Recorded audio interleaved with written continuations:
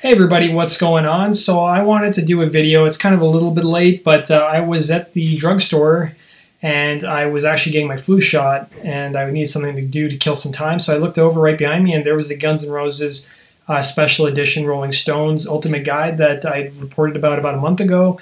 So I went and picked up a copy of it. I'll let you guys know my thoughts on it. Um, I think they do this for a lot of bands. And, um, you know, basically what they did with this is they compiled all the different articles that Rolling Stones ever done on Guns N' Roses. So back from when the band first formed, and uh, or at least came out with Appetite back in 1987, they've got, you know, the first uh, interview with the guys, and they talked about the interview when they were doing the Illusions record. So they brought back all those old articles the thing that's kind of a shame is you can go read these articles online for free. So having to pay for it again is kind of a ripoff. But there are some really nice photos in here that you may not get in the online versions. And then they also talk about Slash's Snake Pit. They have the interview with Slash they did back in 1995 when he was promoting that album.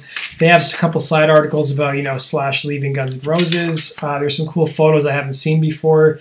They talk about the Axl Rose, the Lost Years article, which is pretty easy to find on the internet. It talks about that period from like 1994 to 2000 where Axl was they call it the wilderness years as you would say. Uh, and then they also talk about um, the actual they have some new stuff like called the ultimate album guys so they they talk about each of guns n' roses albums including the spaghetti incident and chinese democracy.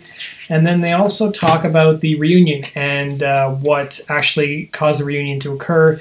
And then they talk about the top i think it's like the top 30 craziest Guns N' Roses moments. So they talk about some of the interesting stuff, like is when uh, Slash snuck a, um, a lion into a hotel back in 1994 after his home was damaged by an earthquake.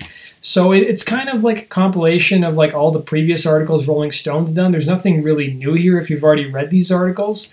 Uh, but I'm a diehard fan, so I actually had a lot of fun reading it.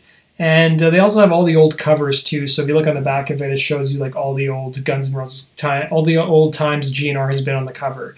So um, yeah, if you guys bought the Rolling Stone magazine, let me know your thoughts. You guys have any questions about it? Just leave me in the comment section below. And as always, guys, make sure you subscribe for the latest GNR news. Take